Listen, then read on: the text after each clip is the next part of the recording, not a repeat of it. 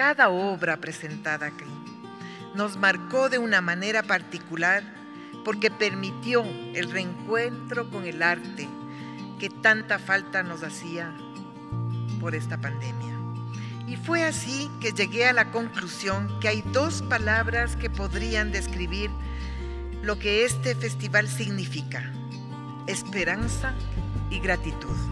Hemos demostrado que un trabajo conjunto es poderoso, teniendo como principal motivación acercar el arte y la cultura a la ciudadanía.